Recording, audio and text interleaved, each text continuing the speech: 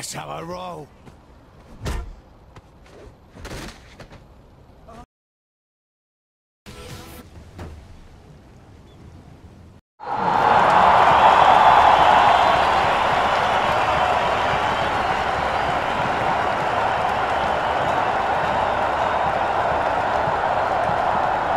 We've got a badass over here.